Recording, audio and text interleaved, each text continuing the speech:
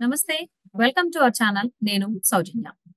వివేకానంద గారి వైఫ్ సౌభాగ్యమ్మ గారు జగన్మోహన్ రెడ్డి పాలనకు సంబంధించి సంచలనమైనటువంటి కామెంట్స్ చేశారు. అలాగే ఒక పిలుపును కూడా ఇచ్చారు. జగన్మోహన్ రెడ్డిని ఓడించండి అని చెప్పేసి. సునీత గారు కూడా ఇదే మాట అన్నారు. ఇప్పుడు సౌభాగ్యమ్మ గారు కూడా ఇదే మాట అంటున్నారు మరి ఈ అంశానికి సంబంధించి మరిన్ని విషయాలు మనకు తెలియచేయడానికి వారి విశ్లేషణని మనతో పంచుకోవడానికి ఈ రోజు మనతో పాటు ఉన్నారు టీడీపీ సీనియర్ నాయకులు ఉప్పలపండి శ్రీనివాస్ చౌదరి గారు ఉన్నారు. వారితో మాట్లాడతారు నమస్కారం చౌదరి గారు. నమస్తే జగన్మోహన్ రెడ్డి పినతల్లి అనేటువంటి సౌభాగ్యమ్మ గారు జగన్మోహన్ రెడ్డి పాలనకు సంబంధించి తీవ్రమైనటువంటి వ్యాఖ్యలు చేస్తున్నారు. అలాగే పిలుపుని కూడా ఇచ్చారు. జగన్మోహన్ రెడ్డిని ఓడించండి అని. ఇంతకు ముందు చెల్లి ఢిల్లీ వేదికగా జగన్మోహన్ రెడ్డిని ఓడించండి అని చెప్పేసి అని పిలుపునిచ్చారు. ఇప్పుడేమో పినతల్లి ఇస్తున్నారు. అసలు దీన్ని ఏ విధంగా చూడాలి అంటారు? ఇంట్లో వాళ్ళే నేను ఓడించండి అని చెప్పేసి కామెంట్ చేస్తూ ఉంటే ఓటర్లు దీన్ని యాక్సెప్ట్ చేస్తారనుకోవాలా? అసలు ఏమనుకోవాలంటారు? తప్పకుండా మొదట మీకు మన వన్ టీవీ ప్రచురణ నమస్కారాలు. జగన్మోహన్ రెడ్డి పరిపాలన పైన ప్రజలు విసిగిపోయినారంటే ఆశ్చర్యపోనక్కర్లేదు. ఉమ్, సొంత కుటుంబ సభ్యులు విసిగిపోయినారంటే ఆయన పరిపాలన దక్షత ఏ స్థాయిలో ఉందనే విషయాన్ని ఒకసారి గురించవచ్చు ఇప్పుడు ఎంత కాదన్నా కుటుంబ సభ్యులు మా వాడు గొప్పోడు మా పిల్లోడు మా కొడుకు మంచోడు బాగా చేస్తున్నాడు అని చెప్తారే కానీ. వ్యతిరేకించరు. ఏ కుటుంబ సంబంధం లేవు కూడా. సొంత కొడుకు తప్పు చేయనా నా కొడుకు తప్పు చేయలేదని అంటారు కానీ తల్లిదండ్రులు చేశాను ఎవరు చెప్పరు. అటువంటి తల్లి లాంటి పినతల్లి రోజుకి వచ్చి జగన్మోహన్ రెడ్డి గారికి ఓటేద్దండి జగన్మోహన్ రెడ్డి గారికి ఓటేస్తే రాష్ట్రం హత్యా రాజకీయాలు ప్రేరేపిత అవుతుంది. రాష్ట్రంలో హత్యలు విజృంభణ అంటే ఫ్యాషనిజం వస్తున్న విధంగా అర్థాలు వచ్చే విధంగా ఆవిడ బాధపడుతూ మాట్లాడారు. ఎందుకంటే మళ్ళీ ఆంధ్ర రాష్ట్రం సర్వనాశనం బాధ. సరే ఇక్కడ గమనించాల్సిన విషయం ఏంటంటే మీరు చూడండి జగన్మోహన్ రెడ్డి గారి గురించి రాష్ట్రం గురించి పక్కన రాదు. ఏం పల్లె వాళ్ళు కడప జిల్లా పులివెందల. ఈ రోజు ఆరోగ్యశ్రీని బ్రహ్మాండంగా అభివృద్ధి చేశాము. వేల కోట్ల రూపాయలు పేదలకు న్యాయం చేస్తామని చెప్పిన జగన్మోహన్ రెడ్డి గారు.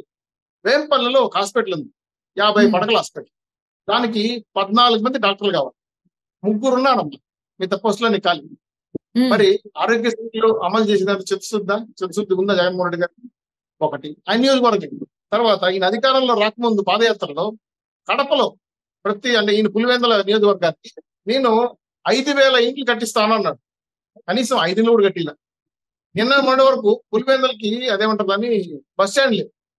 ఇంకా దారుణ విషయం. మీకు విషయం చెప్తాను. వేంపల్లి పులివెందుల కడవ ప్రాంతంలో చీని నిమ్మ దానిమ్మ అలాగే నిమ్మ అంటే హార్టికల్చర్ పంటలు బాగా వేస్తారు. వాళ్ళు ఆ పంటల్ని లారీ ద్వారా తీసుకెళ్ళి బెంగళూరు అమ్ముతారు. రాజశేఖర రెడ్డి గారు ఉన్నప్పుడు ఒక ప్రపోజల్ వచ్చింది. బాబు గారు దాన్ని అమలు చేశారు. ఎలా అంటే కేంద్ర రైల్వే శాఖ మంత్రితో మాట్లాడి కడప నుంచి బెంగళూరు రైలు డబుల్ టెకింగ్ ట్రాక్ ట్రాక్ వేశాడు దాన్ని అప్రూవ్ చేసింది కేంద్ర గవర్నమెంట్. భూమి. వేయండి మేము ఇస్తామని చెప్పి. డబ్బులు కూడా ఇస్తారు. భూమికి డబ్బులు ఇస్తామన్నారు ట్రాక్కి డబ్బులు ఇస్తామన్నారు. జగన్మోహన్ రెడ్డి గారు ఒకే ఒక పెన్నతో ఈ ప్రాజెక్టే నా బుధన వచ్చేసాడు అంటే కడప నుంచి నేరుగా బెంగళూరు పోయిన ట్రాక్ని రెండు డబుల్ ట్రాక్ని నాకు ఉద్దం రాసి ఇచ్చేసి ఉమ్, కన్నా ఘోరమైన ఉందమ్మా? నాకు అర్థం కాలేదు. ఒకటి. రెండో విషయం ఇంకా బాధ కలిగే విషయం. అసలు మూడు సార్లు కొబ్బరికాయ కొట్టాడు కడప స్టీల్ ప్లాంట్ కాంపౌండ్ కూడా కట్టినట్టు వాడు. కడప స్టీల్ ప్లాంట్ వల్ల వేలాది మందికి ఉద్యోగాలు వస్తాయి. తద్వారా బ్రహ్మాండంగా అభివృద్ధి అవుతుందని చెప్పి ఆశపడ్డ కడప ప్రజల ఆశల మీద నీళ్ళు ఇంకా ఇంకా బాధకరం ఇంకో విషయం చెప్తాను. Fishing harbour. అంటే ఫిషింగ్ వ్యాపారం కానీ ఫిష్ చేపల వ్యాపారం కానీ అలాగే చికెన్ వ్యాపారం దానికి ఫిషింగ్ అండ్ ఏదో అన్నారు. అవి స్థాపిస్తాను కడపలో నేను. అక్కడ ఫిష్ మార్కెట్ చెప్పెడతాను అన్నాడు. మరి ఆ షాపులు ఏమయ్యాయో ఫిష్ మార్కెట్ ఏమైందో చికెన్ మార్కెట్ ఏమైందో అర్థం కాదు అంటే ఇన్ని రకాల వరాలు కురిపించిన జగన్మోహన్ రెడ్డి గారు సొంత జిల్లా కా- నియోజకవర్గం పులివెందులకే చేయలేదంటే రాష్ట్రాలకు ఏం చేస్తారు మరి? ఆ వాక్యం అనటంలో అర్థం అదే కదా? ఇప్పుడు మీరు అవును. ప్రజా ప్రస్థానాన్ని కూల్చిపెట్టారు అక్కడ నుంచి కూల్చోవడం స్టార్ట్ చేశారు. ఇప్పుడు చూడండి ఎస్సీ ఎస్సీ బీసీ మైనార్టీలు ఎవరు నేర్చుకోండి? ఇప్పుడు ఉదాహరణకి ముస్లిమ్స్. ముస్లిమ్స్కి పాదయాత్రలు ఏమన్నారు మీరు? ముస్లిం ఇమాములకి మొదలు జీతాలు వేస్తామన్నారు. ముస్లిం బ్యాంక్ స్థాపిస్తామన్నారు. ముస్లింస్కి చదువుకునే విదేశీ విద్య అవకాశం కల్పిస్తామన్నారు. ఈ మూడు రోజులు చేసేసారు కదా. పైగా గత ప్రభుత్వం మేము తెలుగుదేశం రంజాన్ తప్ప ఇట్లాంటి మంచి కార్యక్రమాలు బాగా అంటే ముస్లిం మీరు పాదయాత్రలు ఇచ్చిన ముస్లిం బ్యాంక్ కూడా దుల్హన్ పథకం కూడా అంటే దాన్ని ముస్లిం పెళ్ళి షాదీ చేసుకుంటే ఒక పథకం ఉందండి ఆ దుల్హన్. పథకం అంటారు దాన్ని. రద్దు. చేసి పారేస్తారు సో ఉమ్, ఇంత దుర్మార్గంగా ముస్లిం నాశనం చేసిన వాళ్ళు ముస్లిం ఎందుకు నీకు ఓటేస్తారు? Next SC SC. ఎస్సీ ఎస్సీల పరిస్థితి ఏంటమ్మా ఈరోజు ఎస్సీ ఎస్సీ సభ్యుల నిధుల్ని ముప్పై వేల కోట్ల పై చెల్లు నువ్వు పులివెందులకు మార్చుకున్నావు? బటన్ నొక్కు నెక్కి పెట్టుకున్నావు? ఎస్టీ ఎస్సీలకి ఇస్తానన్న ఫ్రీ ఏమయ్యాయి తీసేసావు రెండు వందల యూనిట్ల కరెంట్ ఛార్జ్ ఫ్రీకేసావు కరెంట్ ఫ్రీగా ఇస్తాను మాట తప్పేసావు అలాగే విదేశీ విద్య ఎస్సీఎస్సీ విదేశీలకు వెళ్ళి చదువుకోవడానికి అంబేద్కర్ విశ్వ విదేశీ విద్య ఉండేది. దాన్ని వీకేసావు దాన్ని ఈరోజు జగనన్న విద్యా దీవెన పెట్టుకున్నావు నువ్వే మార్చుకొని కానీ అమలు చేసింది కూడా ఏమి అయితే ఇంకా ఇంకా బాధ కలిసి ఏంటంటే ఎస్సీ ఎస్టీ కలిసి కార్పొరేషన్గా ఉండేది దాన్ని విడగొట్టేసి విడగొట్టేసి రెండు కార్పొరేషన్లు పెట్టి రూపాయి కూడా ఇవ్వలేదు వాళ్ళకి కార్పొరేషన్ నిధులు. చివరికి వాళ్ళకు ఫ్రీ హౌసెస్ లేవు. కరెంట్ లేదు వాళ్ళకి సబ్సిడీ కింద రుణాలు లేవు. గతంలో మేము వాళ్ళకి క్యాప్స్ ఇచ్చేవాళ్ళం. క్యాప్స్ అంటే ట్యాక్సీలు నడుపుకోవడానికి సబ్సిడీ కింద కార్లు ఇచ్చేవాళ్ళం. వాళ్ళకి ఏమీ. లేదు రిజర్వేషన్ లేదు ఉద్యోగాలు లేవు. సో ఎస్టీ ఎస్సీలు పూర్తిగా సర్వనాశం చేసిన వ్యక్తి వాళ్ళు వేరు. ఇంక బీసీలు ఓసీలు బీసీ ఎస్సీ కాపు సమాజం గురించి మాట్లాడు ఒకే ఒక కార్పొరేషన్ బీసీ కార్పొరేషన్ ఉండేది దాన్ని యాభై ఆరు కార్పొరేషన్ చీల్చాడు బాలేసాడు ఐదు వేల రూపాయలు జీతాలు ఇచ్చి ఒక్కొక్క ఉచ్చగ్రహాలు పెట్టాడు. ఒక్క రూపాయి కూడా సబ్సిడీ కింద చేతి వృత్తి వాడికి ఇవ్వాలి. అంటే నా ఐ బ్రాహ్మణకు కానీ కుమ్మరి కమ్మరి అదేవిధంగా కార్పొరేటర్ కార్పొరేట్స్ కానీ ఆచార్యులు అంటారు విశ్వబ్రాహ్మణ్ వీళ్ళకందరికీ పనిముట్టు నైన్టీ పర్సెంట్ రజకులతో సహా సబ్సిడీతో నైన్టీ పర్సెంట్ ఇచ్చేవాళ్ళు. రజకులకి అయితే ఇస్త్రీ కరెంట్ బెట్లు అదేవిధంగా వెంట వాషింగ్ మిషన్ ఇచ్చేవాళ్ళు. వాడు దాని ద్వారా సంపద పెంచుకునేవాళ్ళు ఆదాయం పెంచుకునేవాళ్ళు. ఆ కార్పొరేషన్లో పూర్తి డబ్బులు లేవు కదా ఆ కార్పొరేషన్ ద్వారా అప్పులు తెచ్చుకొని నువ్వు బట్టలు ఒప్పుకుంటున్నావే చివరికి వాళ్ళని మోసం చేశాడు. ముప్పై నాలుగు పర్సెంట్ స్థానిక సంస్థల్లో రిజర్వేషన్ ఎస్ మన బీసీ కార్పొరేషన్ వాళ్ళకి తగ్గించేసి ఇరవై నాలుగు పర్సెంట్ చేయించాడు. అంటే కాపులకు పెద్ద పెట్టేస్తాను చివరికి నువ్వు పెద్ద పెట్టేసావు సో వాళ్ళు ఎవరు నీకు ఓట్ వేయరు. కొన్ని మహిళలు మహిళలకు దశ చట్టం ఉందమ్మా? గ్రాఫిక్స్లో ఉందా? నాకు అర్థం కాలేదు రోజుకు మూడు అఘాయితాలు జరుగుతాయని నేర ప్రవృత్తి సంస్థ సెంట్రల్ బ్యూరో మాకు రిపోర్ట్ ఇచ్చింది. ఆంధ్ర. రాష్ట్రం అంటే నేర ప్రవృత్తిలో ఆరో స్థానంలో ఆంధ్రప్రదేశ్ ఉంది. అంటే ఏమని అర్థం? ఒక హత్య ఒక లైంగిక వేధింపు ఒక దుర్మార్గ చర్య రోజుకు ఆంధ్ర రాష్ట్రంలో మూడు సార్లు జరుగుతున్నాయంట. ఇంత ఇంత ఘోరం ఉంది మన ఆంధ్ర రాష్ట్రంలో. దిశ చట్టం అమలు కావట్లేదు. చివరికి మహిళలు ముప్పై వేల మంది కనపడలేదని పవన్ కళ్యాణ్ గారు నెత్తి నోరు కొట్టుకుంటే సమాధానం. ఇంత దుర్మార్గంగా రాష్ట్ర పరిపాలన జరుగుతా అంటే మహిళలు నీకు ఓటేస్తారు నెక్స్ట్ లాస్ట్ అండ్ ఫైనల్ ప్రధానంగా సమస్య రైతుల సమస్య. ఈ పొద్దు రైతులకి తాగునీరు ఉందా సాగునీరు ఉందా రెండు లేవు. క్రాఫాల్ట్ పరిణించేశారు కౌలు ఆత్మహత్యలను మొదటి స్థానం రైతుల ఆత్మహత్యలను మూడో స్థానంలో ఉంది.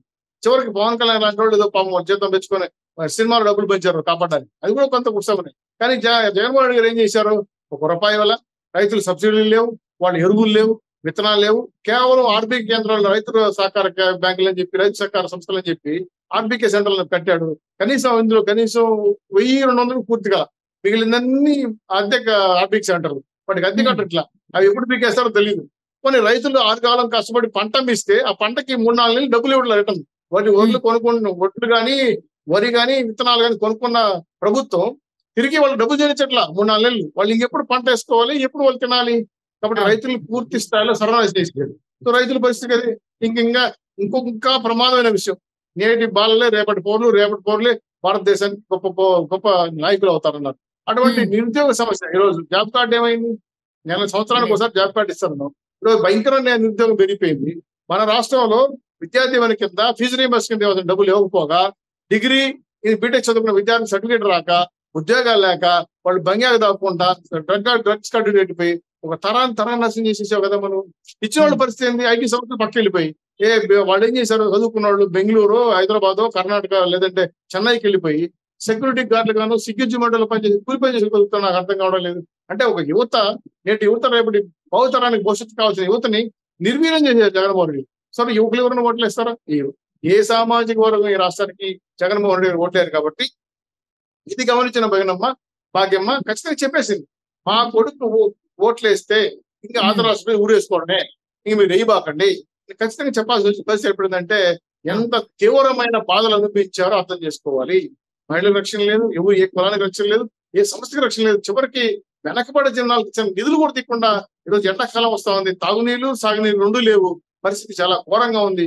రేట్లు అధిక రేట్లు బంగారు లాంటి కరెంట్ ఛార్జీలు రోజు పట్టుకుంటే షాక్ కొట్టే పరిస్థితి ఏర్పడతా ఉంది. దాదాపు. తొమ్మిది సార్లు కరెంట్ ఛార్జీ పెంచాడు. ఆర్టీ ఛార్జీ మూడు సార్లు పెంచాడు. అతలా కుతలం అయిపోతా ఉంది. ముప్పై రూపాయలు గందిపప్పు నూట యాభై రూపాయలు అయింది యాభై రూపాయలు ఉల్లిపప్పు వంద రూపాయలు అయింది అంటే సామాన్యంగా సరుకుల ధరలు కూడా పెరిగిపోయి సెస్సుల పేరు మీద పెట్రోల్ డీజిల్ పైన వందల రూపాయలు వేసేస్తున్నాను. అంటే నాకు అర్థం కావడం వల్ల రాష్ట్రాన్ని కుదబెట్టేసావు రాష్ట్ర ప్రజలను కుదబెట్టేసావు అప్పులు పాలు చేసేసావు అయ్యా జగన్మోహన్ రెడ్డి గారు మీ వల్ల రాష్ట్రం అప్పుల పాలేగా ఉన్న దివాలా తీసుకునే పరిస్థితి ఏర్పడుతుంది కాబట్టి ఈ గవర్నమెంట్ వస్తే ఖచ్చితంగా ఆంధ్ర రాష్ట్రాలు బాధపడతారనే ఆలోచనతోనే ఆవిడ ఆ మాట అనిందని నేను అనుకుంటున్నాను. అది అక్షర సత్యం. ఎందుకంటే కుటుంబ సభ్యులే ఆ విధంగా భావించన్నారంటే రాష్ట్ర ప్రజలు ఏ విధంగా బాధపడతారు ఏ విధంగా నష్టపోతున్న విషయాన్ని ఊహించుకోవచ్చు అనే విషయం పైన మీకు స్పష్టంగా అర్థమైంటుందని అనుకుంటున్నాను. అవునండి. సో జగన్మోహన్ రెడ్డి కుటుంబ సభ్యులైనటువంటి ఆ, సౌభాగ్యమ్మ గారు సునీత గారి పిలుపునిస్తున్నారు. జగన్మోహన్ రెడ్డిని ఓడించండి. రాబోయేటువంటి రోజుల్లో రాష్ట్రాన్ని చక్కదిద్దేవాడు వస్తాడు మంచి పాలకుడు వస్తాడని చెప్పి అని కామెంట్ చేస్తున్నారు. మరి ఈ పిలుపుకి సంబంధించి ఆంధ్రప్రదేశ్ ఏ విధంగా స్పందిస్తారు? ముఖ్యంగా కడప ప్రాంతానికి రాయలసీమకు సంబంధించినటువంటి ప్రజలు ఏ విధంగా స్పందిస్తారో చూద్దామండి.